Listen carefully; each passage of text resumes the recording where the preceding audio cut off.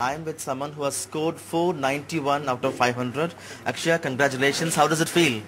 I feel on the top of the world, uh, like all dreams come true.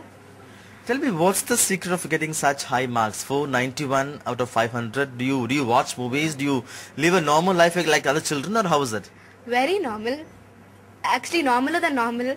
I, I before. How many hours you study every day?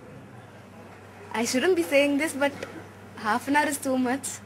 If I study for half an hour, like before the exams, I started studying properly. I understand and study. I don't buy hard things. Right. Abhinaya, what is your plan now? You have scored how much? 487 out of 487. Still quite high. And what are your plans now? Now I, I want to do uh, medical. Uh, I've taken Biomaths. I want to do, do medical in MMC or Stanley. Okay.